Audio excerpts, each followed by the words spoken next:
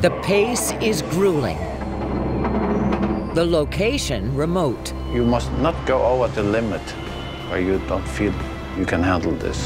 On this mighty ship, the deadlines never end. And maneuvers are always tricky. The scenery is spectacular, Wait, uh, wait. Hey! Uh, but the waters are deadly.